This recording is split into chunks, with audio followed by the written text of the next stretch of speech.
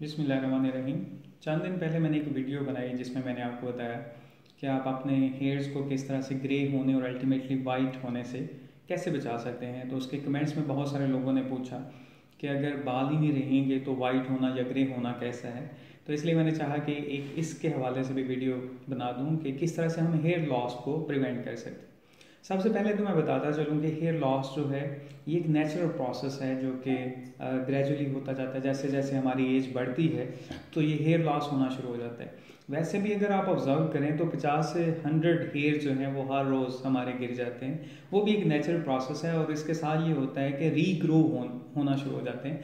यानी जितने बाल हमारे जड़ते हैं उतने ज़्यादा ग्रो होना शुरू हो जाते हैं, लेकिन वक्त के साथ साथ ये कैपेसिटी उस तरह से नहीं रहती। वक्त के साथ साथ होता यह है कि हमारे बाल जो हैं वो झड़ना शुरू हो जाते हैं, तेज़ी से झड़ते हैं, उनका नंबर ज़्यादा शुरू हो जाता है, लेकिन उतने रीग्रो नहीं होते, जिसकी वजह से आपने देखा होगा कि हेयर लॉस होना शुरू हो जाता है। कुछ हमारे स्कैल्प पे कुछ ऐसे एरियाज़ हैं जहाँ पे ये ज़्यादा तेज़ी से होता है as compare to other areas तो ये भी वक्त के साथ साथ एक प्रोसेस है जो कि होता है। अब हम इसको कैसे प्रिवेंट कर सकते हैं? उससे पहले मैं बताता चलूँ कि जिस तरह से मैंने लास्ट टाइम बताया कि जो हमारे स्टेम सेल्स होते हैं, वो मेच्योर हो के जो है हेयर ग्रोथ करवाते हैं तो इसी तरह से वक्त के साथ साथ उन स्टेम सेल में कमी हो जाती है और स्टेम सेल जो उन ख़ास सेल्स में डिफ्रेंशिएट होते हैं, जो कि हमारे हेयर ग्रोथ करवाते हैं, उनमें भी कमी हो जाती है, जिसकी वजह से हमारे फर्दर हेयर जो है वो ग्रो नहीं होते और उनका रीन्यूअल का जो प्रोसेस है, वो भी कम होना शुरू हो जाता है। तो ये एक नेचुरल प्रोसेस है, जो कि वक्त के साथ साथ चलता है।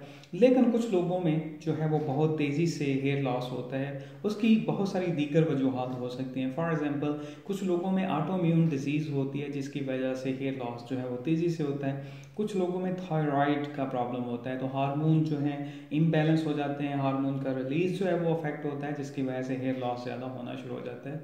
और इस तरह से बहुत सारे और फैक्टर्स हैं, जो कि हेयर लॉस को जो मुतासर करते हैं, हमारे हेयर रिन्यूअल को मुतासर करते हैं तो इन सारे फैक्टर्स को हमें कंसिडर करना होगा।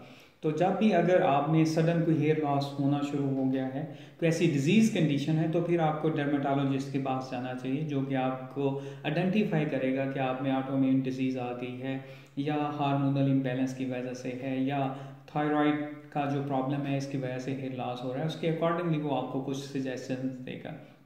एफ़ ने कुछ मेडिसिन भी अप्रूव की हैं मेल के लिए भी फीमेल के लिए भी जो अगर आप यूज़ करें तो उससे हेयर लॉस को किसी हद तक कम किया जा सकता है। लेकिन इन जो मेडिसिन हैं, इनके अपने साइड इफ़ेक्ट्स हैं, इसलिए बहुत सारे डॉक्टर जो हैं, वो रिकमेंड नहीं करते हैं। तो आप फाइनल ये है कि हम किस तरह से बचें। तो इसके लिए कुछ अभी तक ऐसा साइंटिफिकली लाइक कोई ऐसी थेरेपी नहीं है कि हम इससे बच सकते हैं। बहुत सारी चीज़ें आपको खुद से कंसिडर करनी चाहिए कि हॉर्स ट्रीटमेंट नहीं करनी चाहिए, जैसे शैम्पू का बहुत ज़्यादा इस्तेमाल करने से भी हेयर लॉस होना शुरू हो जाता है। तो उसको भी आप अगर ऐसा रोज़ाना अपने बाल धोते हैं तो उसके लिए आप सॉफ्ट किस्म के शैम्पू यूज़ कर सकते हैं। इस तरह से और बहुत सारी चीज़ें हैं जो कि फैक्टर्स हैं आपके हेयर लॉस के लिए। तो आप किसी अच्छे डर्माटोलॉजिस्ट से कंसल्ट कर सकते हैं कि इस तरह से हेयर लॉस अगर ज़्यादा हो रहा है तो ये ये फैक्टर्स हो सकते हैं और उसको आप प्रिवेंट कर सकते हैं। अगर बहुत ज़्यादा हेयर लॉस हो गया है तो देर आर डिफरेंट ऑप्शन जो कि आप यूज़ कर सकते हैं। फॉर एग्जांपल जो है आप ट्रांसप्लांट करवा सकते हैं। अगर आपके किसी ख़ास एरिया में हेयर लॉस हो चुका है तो आप विग का इस्तेमाल कर सकते हैं। आप तो बहुत सारी विग्स ऐसी हैं जो कि बिल्कुल नेचुरल हेयर्स की तरह से होती हैं। या आप कुछ ऐसे शैम्प जो हैं केमिकल्स मिल जाते हैं, जिससे हेयर ग्रोथ ऐसे लगता है जैसे बहुत ज़्यादा होगी तो आप इस तरह के मुख्तलिफ़ ऑप्शन यूज़ कर सकते हैं। और एक लास्ट बात मैं आपको बताता चलूँ कि कुछ लोगों में एक स्ट्रॉन्ग जेनेटिक इफ़ेक्ट होता है।